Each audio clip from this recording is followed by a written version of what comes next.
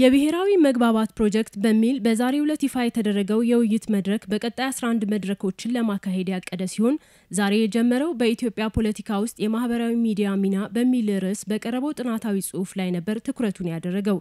የውይይት መድረኩን በንግግር የከፈቱት በሕዝብ ተወካዮች ምክር ቤት የውጭ ግንኙነትና የሰላም ጉዳዮች ቋሚ ኮሚቴ ሰብሳቢ ዶክተር ነገሪ ሌንጮ ያለ ሰላም የዲሞክራሲ ስርዓት ግንባታ ማሰብ የማይቻል በመሆኑ ሰላምን ለማስፈን ሁሉም አካላት የድርሻቸውን መወጣት ይገባቸዋል ብለዋል።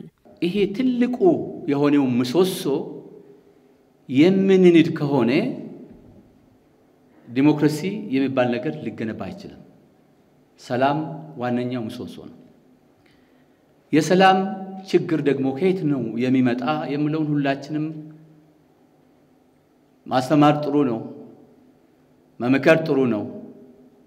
ነገር ግን ሁሉም ዜጋ ወደ ራሱ አምጥቶ እንዴት ለሰላም ግብዓት ሊሆን ይችላለሁ፣ በዛ ላይ ትኩረት ማድረግ ያስፈልገናል። ማህበራዊ ሚዲያ ሀገር እንደሚገነባ ሁሉ ሀገርን ለማፍረስ ሚናው የጎላ በመሆኑ ከጥላቻ ንግግር የማህበራዊ መሰረት የሆኑትን ከማናጋት መላቀቅ አለበት ያሉት የኢንተርናሽናል ሪቫይቫል ሚኒስትሪ ቦርድ አባል አቶ ኃይሌ ገብሬ በበኩላቸው ኢትዮጵያ በየአካባቢው በተከሰተ ግጭት መጎዳቷን አንስተው ከዚህ በኋላ ብጥብጥ የሚሸከም አቅም አይኖራትም ሲሉ ፖለቲከኞች ከስሜታዊነት እንዲወጡ ተማጽነዋል። ሰላም እንዴት ነው የሚመጣው? ሰላም የሚመጣው ፖለቲከኞቻችን በፕሮግራሞቻቸው ውስጥ ብቻ ኳሳቸውን ሲያደርጉ፣ ይሄ የማይሆን ቋንቋ ሲተዉ፣ ይሄ ከሆነ ሰላም ነው። ክርክራቸው ወንድማዊ መሆን አለበት። አንድ ነገር ላስተናግዛችሁ እፈልጋለሁ። ከአሁን በኋላ ኢትዮጵያ እናት ሀገራችን ብጥብጥ ማስተናገድ የሚችል ገላ የላትም። ቆስላለች። በመድረኩ ከታደሙ ተሳታፊዎች መካከል መጋቢ ሐዲስ እሸቱ የዚህ ሀገር ዋነኛው ችግር በድህነትና መሀይምነት የመጣ መሆኑን ገልጸው በዚህ መሀል ነግደው የሚያተርፉ ብልጣብልጦችን መከላከል እንደሚገባ ተናግረዋል።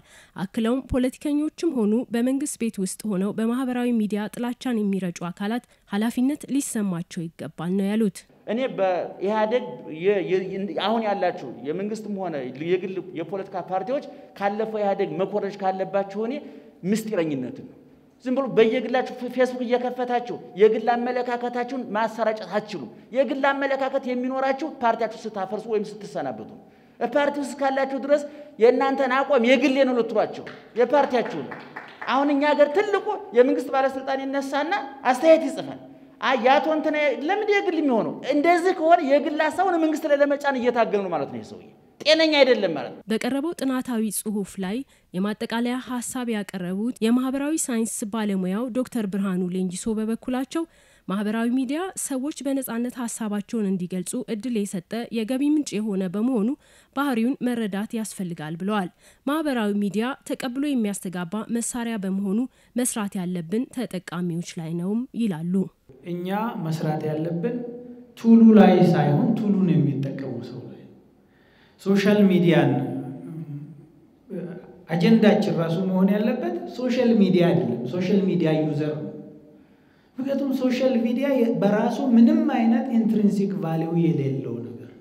ጥሩ መጥፎም ያልሆነ platform ነው።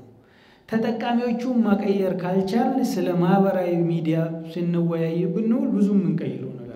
የብሔራዊ መግባባት ፕሮጀክት ሁሉን አካታች የሆነ በእውቀትና ምርምር ላይ የተመሰረተ ውይይት ማካሄድ ከምርጫው በፊት ያሉና ሊኖሩ የሚችሉ መራርነትና አደገኛ ግጭቶችን ማስወገድ ማስቻል ላይ ያለመ ሲሆን የሀሳቦች ግብዓት ለብሔራዊ መግባባት መርሁ እንደሆነ ተመላክቷል።